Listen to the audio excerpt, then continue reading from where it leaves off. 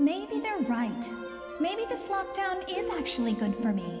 I just don't see how walking outside could be bad.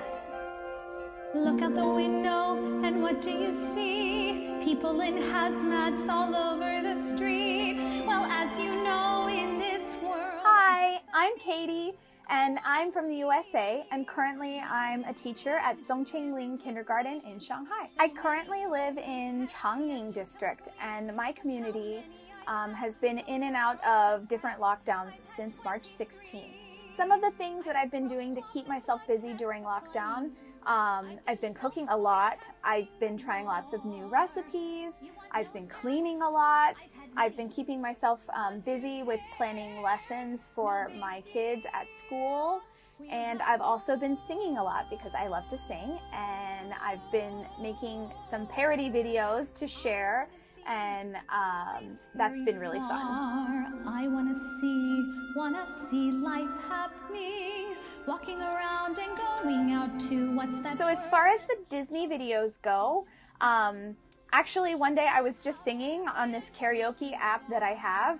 Uh, I use it often because I like to sing. So I sat down and I just kind of thought of some new words for the song and recorded it. Let me just make a video. And I posted it and people really liked it, and I really thought I was just doing it to entertain myself and make a couple of friends laugh. I never imagined that so many people would like my videos. I, I realized that even though I made this video to entertain myself, um, I was actually bringing a lot of joy to people um, who really needed it. So it made it even more fun to make the next video and the next video. Um, I do have a couple more videos that are coming, but I'm not sure how many more I'm going to make after this. Hopefully, I won't need to um, because we'll be going back to normal. So, one really nice thing that actually happened within my own building, um, I actually had too many vegetables. We'd gotten a delivery from the community, and I knew um, because I'm only one person, I wasn't going to be able to eat all of these vegetables and I didn't want them to go bad.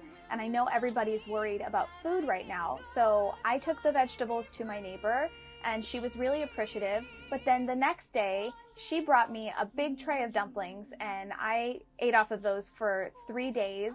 And I just thought it was really, really nice how everybody's coming together and everybody's working together and helping each other out and getting each other through this difficult time period. The first thing I want to do when I get out of lockdown is I want to go to a coffee shop. I want to drink a coffee that I didn't make myself. I want to sit in the sun and I want to watch life happening. Shanghai, 加油!